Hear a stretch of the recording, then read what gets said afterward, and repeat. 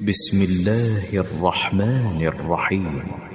فإذا قضيتم الصلاة فاذكروا الله قياما وقعودا وعلى جنوبكم.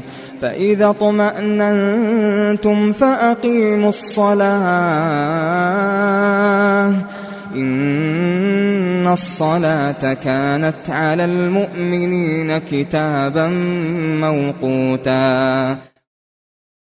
بسم الله الرحمن الرحيم الحمد لله رب العالمين وصلى الله وسلم على رسوله الأمين وعلى آله وأصحابه أجمعين اللهم أصلح لنا نياتنا وذرياتنا وأحسن ختامنا يا أرحم الراحمين اللهم أرنا الحق حقا وارزقنا اتباعه وأرنا الباطل باطلا وارزقنا اجتنابه أما بعد takbirdan salomgacha bo'lgan namoz ahkomlari darsimizni davom ettiramiz. Ho'p oltinchi masala. Ojiz kishidan qiyomning soqit bo'lishi. Ojiz kishidan qiyomning soqit bo'lishi. Biz o'tgan masalalarda aytib o'tdik. Qodir bo'lgan kishi albatta farz namozda tik turib o'qishlik kerak qiyomda turib namoz o'qishligi kerak edi. Lekin ojiz bo'ladigan bo'lsa qiyom soqit bo'ladi. Ojizlikda ulamolar ikki xil ojizlik bor deyishgan. Biri al ajzul haqiqiy haqiqiy ma'nodagi ojizlik. Ya'ni masalan oyog'i yo'q kishilar turolmaydi ular. Yoki oyog'i bor bo'lsa ham shol yoki oyog'i jarohatlangan umuman tura olmaydigan darajada o'tirib qolgan va hokazo. Mana bular haqiqiy ma'noda ojiz. Bulardan endi qiyom soqit bo'ladi. Ojizlikda ikkinchi turi bor. Qiyomga qodir. Mabodo tursa tura oladi. Tura oladi. Lekin ma'lum sabablarga ko'ra qiyomda turishi bu uchun juda ham Э, qattiq bir mashaqqatga э, nima qiladi? Э, qattiq bir og'irlik olib keladi bu kishiga. Mana bu kishini ham nima deyishadi ulamolar? Hukmiy ma'noda ojizlik deyishadi. To'g'ri bu umum qarasangiz qiyomda turib berishi mumkin. Lekin baribir ojiz deb hukm beramiz. Ojiz deb hukm berib o'tirib namoz o'qishga ruxsat beriladi. Bu kimlar kiradi bunga? Hukmiy ojizlikka kimlar kiradi? Bularga birinchidan mabodo tik turib o'qiydigan bo'lsa kasali ziyodalashadigan kishilar. Bir kishi kasal mabodo tik turib o'qiyman desa o'qishni imkoni bor qiynalib bo'lsa ham o'qiydi lekin kasali ziyodalashadi. Mabodo kasali ziyodalashsa u kishiga ham bo'ldi ojiz degan hukm beriladi. Ikkinchisi kasali ziyodalashmaydiyu lekin tuzalishi kechikishi mumkin. Shu tik turmasdan o'qisa tezroq tuzalib ketadi lekin tika tursa imkoni bor hozir tika turib o'qishlikni lekin nima bo'ladi? Kasali tuzalishi kechib ketadigan bo'lsa bu kishi ham go'yoki ojiz degan hukm beriladi va o'tirib o'qishligi joiz. Uchinchisi kasali ziyodalashmaydi. Kasali kechikmaydi ham tuzalishi lekin turaman desa turishda imkoni boru juda ham qattiq mashaqqat juda ham qattiq bir e, mashaqqatni sezadigan bo'lsa o'zida bu kishiga ham ruxsat deyishgan. Endi qay darajada bu mashaqqat? Ulamolar shu yerda har xil nimalarni aytishgan. Durustrog'i shu xushuni ketkazadigan darajada o'zi namozda turganini bilmay qoladigan darajada qiynaladigan bo'lsa masalan og'riq qattiqligidan va hokazo demak bunga ruxsat beriladi o'tirib o'qishga. Ho'p avvalambor ojizlik sababli bu farz soqit bo'lishiga dalil nima? Yuqoridagi imron ibn husayn roziyallohu anhudan rivoyat qilingan hadis dedik. Nabiy sollallohu alayhi vasallam nima dedilar? Solli qoiman tik turib namoz o'qigin dedilar. Fa illam tastati fa qoidan. Agar qodir bo'lmasang o'tirib o'qigin dedilar. Demak qodir bo'lmagan kishi o'tirib o'qishligi joiz ekan deyiladi. Ibn qudama rahmaulloh aytadilarki ajma ahlul ilmi ala anna man la yutiqul qiyam lahu an yusalli jalisan. Qiyomga qodir bo'lmagan kishi o'tirib namoz o'qishligi joiz ekanligiga ulamolar ijmo qilishgan deyapti. Ibn qudama rahmaulloh imom navoiy rahmaulloh aytadilarki majmu kitobida la yushtaratu fil azzi an la yata'atta al qiyam va la yakfi adna mashaqqa. Ho'p biz ojizlik ikki xil bo'ladi dedik. Haqiqiy ma'nodagi ojizlik muammo yo'q. O'tirib namoz o'qishi joiz. Endi hukmiy ma'nodagi ojiz bo'lgan kishi e, bu qachon o'tirib o'qishi joiz? Imom navoiy aytyaptilarki umuman turishga imkoni bo'lmaydigan holatda bo'lishligi ham shart qilinmaydi. Ya'ni haqiqiy ma'nodagi shu ojizlik bo'lishi kerak deb aytilmaydi. Bu farzni soqit bo'lishi uchun. Vala yakfi adna mashaqqa degani ozgina qiynalib qolsa ham bo'ldi o'tirib o'qir deyilmaydi. Tushunarlika hozir e, umuman o'tirolmasang e, tik turib namoz o'qiy olmagan holdagina endi o'tirasan. Shu paytda ruxsat beriladimi deb aytmaymiz. Bu darajada qattiq turmaymiz. Xuddi shunday yengil olib turib ozgina qiynalib qolsang ham o'tirib o'qiver deb aytmaymiz deyapti. Unda nimani e'tiborga olamiz? Balil mu'tabar al mashaqqatu zohira deyapti. Ochiq oydin bir qiynalib qiynalishlikni mashaqqatni e'tiborga olamiz. Qattiq bir mashaqqat bo'ladigan holat bo'lsa yoki kasali ziyodalashadigan holat bo'lsa yoki bo'lmasa kemaga o'tirgan kishi cho'kib ketishdan qo'rqsa tik turib namoz o'qiydigan bo'lsa yoki boshi aylanishligidan qo'rqsa tik turib o'qiydigan bo'lsa solla qoidan o'sha paytda o'tirib o'qishi mumkin. Vala iada keyin qaytarib o'tirmaydi deyapti. Ibn qudama rahimaulloh ham shu eh, hukmiy ma'nodagi ojizlikka ishora qilib aytadilarki mug'niy kitobida va in amkanahul qiyam qiyomga qodir bo'lsayu qarang qiyomga mutlaqo eh, imkoni yo'q kishi emas. Qiyomda turaman desa tura oladi. Qiyomda turishda imkoni bor lekin annahu yaxsha ziyadata maradihi bihi kasali ziyodalashishdan qo'rqadi yoki kechikib e, tuzalishi kechikishdan qo'rqadi yoki juda ham qattiq mashaqqatga tushadigan bo'lsa falahu an yusalliya qoida mana shu uchta holatda o'tirib namoz o'qishi joiz deyaptilar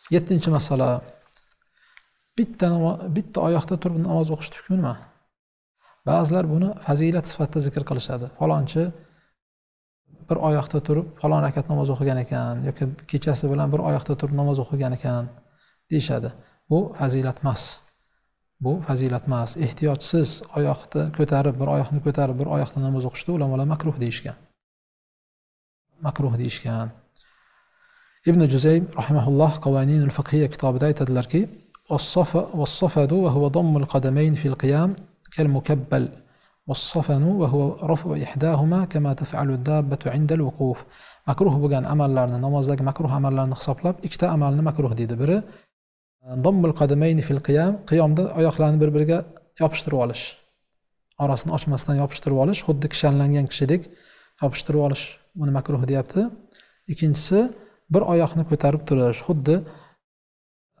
hayvonlar gohida ba'zi hayvonlar bitta oyog'ini ko'tarib turgandek bir oyog'ini ko'tarib turish bu makruh deyapti. Kashshaful qina kitobida buhuti rahimaulloh aytadilarki hech qanday uzrsiz bir oyoqda turib namoz o'qishligi makruh deyapti. Ho'p bundan nima tushuniladi? Mabodo uzr bo'lsa muammo yo'q. Ya'ni aslo bir oyog'ingizni o'zi qo'ya olmaysiz yerga. Yo jarohat bo'lganligi uchun va hokazo yoki gohida e, uchraydi issiq diyorlarda masalan makka madinalarda gohida gilamni bir chetiga nima? Ilinib qolasiz. Bir oyog'ingiz gilamda bir oyog'ingiz yerda bo'lib qoladi. O'sha yerda mabodo oyog'ingiz bosolmaydigan darajada issiq bo'lsa ko'tarib olsangiz bo'ladi. Ko'tarib olsangiz bo'ladi va hokazo. Shunga o'xshash uzrli holatlarda ehtiyoj bor paytda oyog'ingizni ko'tarib bir oyoqda o'qilsa bu joiz. Imom nasaiy sunanlarida rivoyat qiladi. Abdulloh ibn masud roziyallohu anhu bir kishini oyoqlarini bir qilib o'qiyotganligini ko'rib xolafa sunna sunnatga xilof ish qilibdi dedilar. Yuqorida e, makruh bo'lgan amallardan biri yopishtirib o'qish deyildi. Shu yopishtirib o'qib turgan kishini ko'rib sunnatga xilof ish qilyapti deb rovaha baynahuma degani og'irlikni bir oyog'iga berib keyin ozgina dam oltirib narigi oyog'iga berib bir oyog'iga biroz suyanib keyin narigi oyog'iga suyanib e, o'qishlikni murovaha deyishadi. Bu joiz. Bo'lib ham qiyomda tahajjudda ko'p uzoq vaqt turiladigan bo'lsa oz bo'lsa ham shu yengillik bo'ladi kishiga deyishadi. Bir oyog'iga og'irlik berib birozdan keyin narigisiga og'irlik berib masalan murovaha deyishadi. Mana bu amal bu joiz deyishgan ulamolar. Yolg'iz o'qiganda qiyomga turishga qodir bo'lgan kishi yolg'iz o'qisa qiyomga qodir. Lekin jamoatda o'qiydigan bo'lsa jamoatga chiqib o'qiydigan bo'lsa o'tirib o'qishga to'g'ri keladigan kishi. Uyda qolib yolg'iz o'qiydimi tik turib yoki jamoatga chiqib bo'lsa ham o'tirib o'qiydimi? Mana bu masalada ixtilof bor. Haqiqatda bu ba'zida e, tasavvur qilinishi mumkin. Kishi bor yo'g'i besh daqiqa o'n daqiqa tik tura bilishi mumkin. Undan keyin charchab o'tirib qoladi. Uyda o'qisa tik turib qiyomda o'qiy oladi. Lekin masjidga chiqaman desa besh daqiqalik yo'l. O'zi yurib borguncha charchab o'tirib o'qishga to'g'ri keladi. Yoki uyda o'qisa qisqaroq o'qiydi qisqa muddatlikka turishga qodir. To'rt daqiqada besh daqiqada o'qib bo'la biladi. Lekin masjidga chiqadigan bo'lsa cho'zib o'qiganligi bois e, namozni boshidan oxirigacha tik turib o'qiy olmaydi va o'tirishga ehtiyoj bo'lib qolsa. Bu uyda tik turib oxirigacha qiyomni ado qilib o'qiydimi yoki jamoatga chiqib bo'lsa ham o'tirib o'qiydimi? Mana shu masalada xilof bor. E, Vallohu alam bu masalada kuchliroq so'z uyda yolg'iz qolib bo'lsa ham rukunni ado qilib o'qigani kuchliroq bu kuchliroq mardaviy rahimaulloh insof kitobida aytadilarki لو قدر على الصلاة قائما منفردا وجالسا في الجماعة o'zi yolg'iz holatda qiyomda ado qilishga qodir bo'lsayu namozni o'qishga qodir bo'lsayu lekin jamoatga chiqadigan bo'lsa o'tirib o'qishga to'g'ri kelsa Nima qiladi? Ulamolar ixtilof qilishgan. Ba'zi ulamolar xohlaganini qilsin deydi. Xohlasa uyda o'qisin tik turib xohlasa jamoatga chiqib o'tirib o'qisin deydilar ba'zi ulamolar bo'lsa yo'q jamoatga chiqsin deyishgan. Ba'zi ulamolar e, uyda tik turib qiyomda turib namoz o'qishi vojib deyishgan. Mana shu so'z to'g'riroq deydilar mardaviy deyaptilar. Nimaga? Chunki qiyomda turish bu rukun namozni farzlari. Modomiki qodir bo'lsa va hada qodir bu qodir hozir uyda turib bo'lsa ham o'qishlikka qodir val jamoatu vajibatun tasihhu solat biduniha jamoat esa to'g'ri bu ham vojib albatta bu ixtilofli masala sunnat deganlar bor vojib deganlar bor hambaliylarda vojib shuning uchun jamoat esa vojib lekin baribir namoz usiz namoz bo'laveradi kimdir jamoatga chiqmasdan o'qisa gunohkor bo'ladiyu lekin namoz namoz bo'ladi ammo qiyom mutlaqo namoz usiz namoz bo'lmaydi shuning uchun qiyomda turib bo'lsa ham uyda jamoatga chiqmasdan o'qishga to'g'ri o'qisin deyilyapti. Mana shu so'z to'g'riroq deyapti. Ibn nujaym rahmaulloh bahru roiqda ham mana shu e, so'z kuchlirog'iga ishora qilib chunki qiyom farz uni jamoat jamoat uchun qiyomni tark qilish joiz emas dedilar. To'qqizinchi masala kursiyda stulda namoz o'qish holatlari. Mana bu masala ham juda ham muhim masalalardan Э, juda ham muhim masalalardan kursiyda yoki stulda namoz o'qish holatlari. Hozir ko'pchilik beparvo bo'lib qolgan. Qiyomga qodir bo'lsa ham farz namozlarda masjidlarda ba'zi masjidlarda juda ham ko'p kursiylar qo'yib qo'yilgan. Shu kursini ehtiyoj bormi yo'qmi olib o'tirib o'qishadi ko'pchilik. Bu doim ham nima qilinmaydi ruxsat berilmaydi demak qachon o'tirib o'qishga ruxsat beriladi yoki kursiga o'tirib o'qish namoz o'qish holatlari qanaqa bo'ladi? To'rt holatga bo'lishimiz mumkin.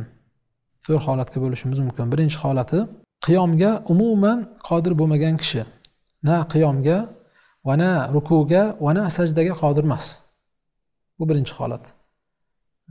Tikka turib ham o'qiy olmaydi rukuni ham qilolmaydi sajdani ham qilolmaydi bu kishi o'tirib o'qishi joiz muammo yo'q. Bunday kishi endi namozni boshidan oxirigacha shu o'tirgan holatda namozini o'qishligi e, joiz. Albatta shu yerda ulamolar nima deyishadi? Yerda o'tirib o'qishni imkoni bo'lsa kursiyga o'tirmagan afzal deyishadi. E, yerda o'tirib o'qishlik afzal kursiyda o'tirib o'qigandan ko'ra deyishgan. Ho'p yerda o'qiydigan bo'lsa ruku paytida e, qo'llarini tizzasiga qo'yadi. Sajda paytida esa qo'llarini yerga qo'yib turib ozgina yana rukudan ham ko'ra ko'proq e, nima qiladi? Engashadi. Ho'p ikkinchi holat qiyomni. Ba'zisiga bo'lsa ham qodir bo'lgan kishi. Ba'zisiga bo'lsa ham qodir bo'lgan kishi. Yarim daqiqa bo'lsa ham bir daqiqa bo'lsa ham tik tura biladi. Undan ortiq turolmaydi o'tirishga to'g'ri kelib qoladi.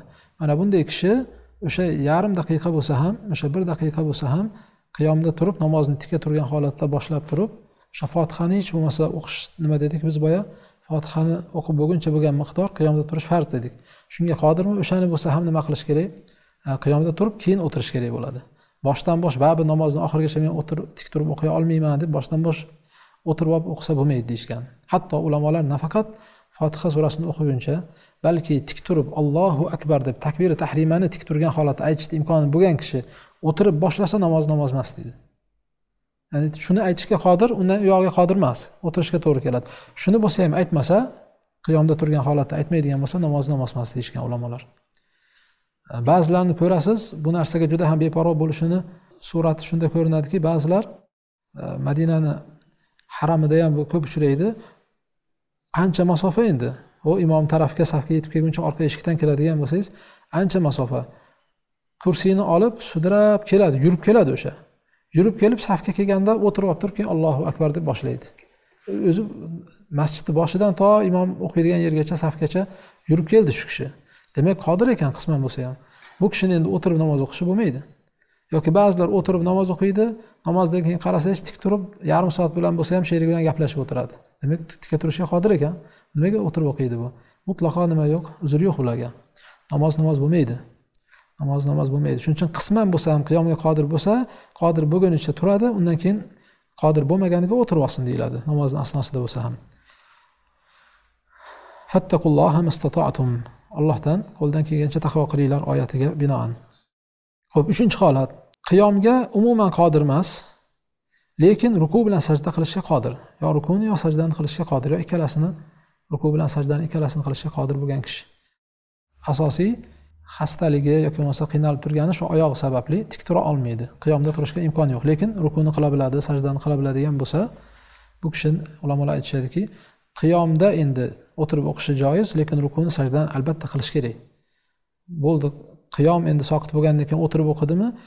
Rukuni ham sajdani ham imo ishora bilan qilaman deyishi bu xato. Bu xato. Albatta rukuni sajdani nima qilish kerak? Bajarish kerak bo'ladi. To'rtinchi holat uchinchi holatni aksi. Uchinchi holatni aksi. Qiyomga qodir. Lekin ruku bilan sajdaga qodir emas.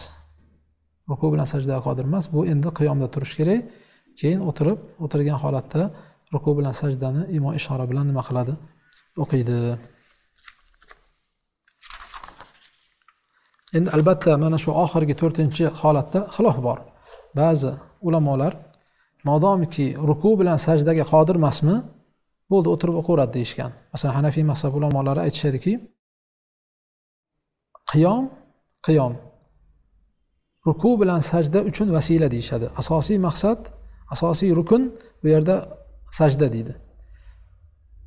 Qiyom esa bunga vasila deyishadi. Shuning uchun rukuga sajdaga qodir bo'lmagan kishi o'tirib o'qiversa ham bo'laveradi. Vasila soqit bo'ladi deydi. Lekin to'g'rirog'i bu masalada ojiz bo'lgani soqit bo'ladi qodir bo'lganini qilish kerak bo'ladi. Hm? Ojiz bo'lgani bu yerda e, ruku bilan sajdadan ojiz lekin qiyomga qodir bo'lyaptimi? Albatta nima qilish kerak bo'ladi? O'sha qiyomda turish kerak bo'ladi. Ibn qudama rahmaulloh uning kitobida aytadilarki man qadara alal qiyami va ajza anir ruku'i avi sujud kim qiyomga qodir bo'lsayu lekin ruku yoki e, sajdada sajdani ado qilishga ojiz bo'lsa lam yasqut anhu qiyam qiyom undan soqit bo'lmaydi. Yusolli qoiman tik turib o'qish kerak bo'ladi. Fayumi bir ruku rukuga kelganda imo ishora qiladi. Summa yajlis keyin o'tirib fayumi bis sujud sajdaga imo ishora qiladi. Demak rukuga qarang qiyomga qodir bo'lgan kishi rukuga tika turgan holatda ishora qiladi. Engasha olmasa ham to'liq ruku qilolmasa ham lekin ishorani imo ishorani tik turgan holatda qiladi. Sajdaga esa o'tirib keyin imo ishora qiladi deyaptilar. Oxirgi o'ninchi masala. Samolyotda yoki moshinani ichida o'tirib namoz o'qish hukmi. Bu safarda ko'p yuradiganlardan ham ko'p savollar uchraydi. Masalan samolyotda namoz o'qish masalasi. Shu o'tirib namoz o'qisa bo'laveradimi yoki qiblaga yuzlanmasdan namoz o'qisa joizmi yoki yo'qmi degan masalaga qisqacha to'xtab o'tamiz qiyomga taalluqli bo'lganligi uchun.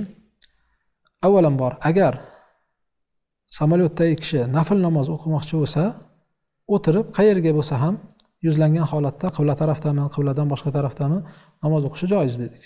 Bu joiz. Demak nafl namozni bemalol o'tirgan joyida qibla tarafga yuzlansa ham yuzlanmagan bo'lsa ham samolyot nima qilsa bo'ladi o'qisa bo'ladi. Bu birinchidan. Endi farz namozga keladigan bo'lsak. Agar farz namozini vaqti kirgan paytda farz namozini vaqti kirgan paytda namozni keyin eh, oxirroq hali namoz vaqti chiqib ketmasdan bo'lsa ham samolyot qo'ngandan keyin o'qishni imkoni bo'lsa kechiktirasiz namozni o'qimasdan. Masalan deylik peshin vaqti kirdi lekin hali peshin vaqtini eh, yarmiga borib qo'nadi. Asr vaqti kirguncha siz tushib aeroportda o'qib olishni imkoni bo'lsa qiblaga yuzlanib shartlari bilan o'qib olishni imkoni bo'lsa kutasiz. Demak u paytda nima qilmaysiz? U paytda samolyotda namoz o'qimaysiz. Illo bitta holatda o'qisangiz bo'laveradi. Shu samolyotda bo'lsa ham to'liq tahoratni olib Э, qiblaga yuzlanib э, ruku э, qiyomlari bilan sajdalar bilan to'liq o'qishni imkoni bo'ladigan holat bo'lsa unda samolyotda bo'lsa ham o'qisangiz bo'laveradi. Lekin modomki biror bir shartini rukunni ado qilolmaydigan holatmi va yetib boradigan vaqtingiz namoz vaqti chiqib ketishidan oldin yetib borib ado qilishni imkoni bo'ladiganmi unda kechiktirib o'sha paytda o'qiysiz. Bu birinchi holat. Ikkinchi holat agar namoz jamlanadigan namozlardan bo'lsa jamlanadigan namozlar peshin bilan asrni jamlash mumkin shom bilan xuftonni jamlash mumkin. Hop peshin vaqti kirdi samolyotdasiz peshin vaqti chiqquncha yetib bormaysiz. Boradigan joyingizga. Lekin asr vaqti hali o'tib ketmasdan turib boradigan joyingizga yetib boradigan bo'lsangiz unda nima qilasiz? Peshinni kechiktirib shu asr bilan jamlab turib jam tahir qilib borgan joyingizda o'qib olasiz. Peshinni hozir samolyotda o'qiyman keyin asrni tushgandan keyin o'qiyman demaysiz. Balki peshinni ham kechiktirib nima qilasiz? Asr bilan birga jamlab turib o'qiysiz. Yoki aksincha ulamolar aytishadiki o'zi aslo samolyotga chiqishdan oldin samolyotga chiqishdan oldin vaqt kirgan bo'lsa peshin vaqti kirgan bo'lsa asr bilan peshinni nima qilib oling? Hali uchmasdan turib samolyotga chiqmasdan turib vaqti kirgan bo'lsa o'qib oling deyishadi. O'qib oling deyishadi. Bu ham qachon? Agar o'zingiz turgan yerdagi aeroport shaharni tashqarisida bo'lsa endi jamlaysiz. Lekin shaharni ichida bo'lsa siz hali safar ahkomlari boshlanmadi sizni haqqingizda. Ba'zi aeroportlar shaharni ichida ba'zilar shaharni tashqarisida. Shaharni tashqarisida bo'lsa bo'ldi siz endi musofirni hukmini olasiz hali uchib ketmasdan turib nima qilishingiz mumkin? Jamlashingiz mumkin endi vaqt kirsa. Va qasr qilishingiz mumkin. Lekin shaharni ichida bo'lsa unga ruxsat yo'q. Faqatgina o'sha vaqti kirgan namozni o'qiy bilasiz qolganini endi o'sha e, samolyotda yoki bo'lmasa tushgandan keyin vaqti chiqmaydigan bo'lsa tushgandan keyin o'qiladi. Uchinchi holat agar namoz vaqti kirdi jamlanadigan namoz emas va to yetib borgunizcha namoz vaqti chiqib ketadigan holat masalan bomdod ko'pincha bomdodda peshin bilan jamlanadigan namoz emas bu. Shu yarim soat yo bir soat ichida o'qisangiz o'qidingiz bo'lmasa borgandan keyin o'qiyman desangiz vaqt chiqib ketadigan holat. U paytda nima qilinadi? Unda borganda o'qiyman deyilmaydi balki vaqtga rioya qilib turib vaqt chiqarmasdan shu samolyotda bo'lsa ham o'qilishi kerak. Ho'p nima qilinadi? O'qilgan paytda ikkita narsaga rioya qilinishi kerak. Qiyom rukniga va qiblaga yuzlanish sharti. Ko'pincha mana shu ikkita narsada nima bo'ladi? Kamchilik mana shu ikkita narsada bo'ladi. Demak agar shu samolyotda xizmat qilayotganlardan so'ralishi kerak deyishadi. Namoz o'qishni imkoni bo'ladigan joy bo'lsa orqa tarafda masalan e, borib bo'lsam tik turib shu qiblaga yuzlanib qiblani so'rab tik turib namoz o'qish kerak bo'ladi. Bordiyu ular so'ragan paytingizda yo'q joy yo'q dedi yoki imkon yo'q desa. Unda nima qilasiz? Turgan joyingizda o'zingiz o'tirgan joyingizda nima qilasiz? Tik turishni imkoni bo'lsa tik turib o'qiysiz. Lekin yo'lda o'qish masalan yo'l baribir bor ekanku deb turib yo'lda o'qishdan qaytarishgan ulamolar. Chunki hojatga o'tadiganlar bor boshqalar bor. Ularni yo'lni to'smaslik uchun erta endi nima qilinmaydi o'qilmaydi. Boshqa joyda joy yo'q deyiladigan bo'lsa yoki ruxsat berilmasa unda o'zingiz o'tirgan joyda tik turib bo'lsa ham o'qiysiz. Qiblani e, bilishni imkoni bo'lsa qibla yuzlanishni imkoni bo'lsa yuzlanasiz. Agar bila olishga imkon bo'lmasa shu o'zingiz yuzlangan tarafga qarab nima qilasiz?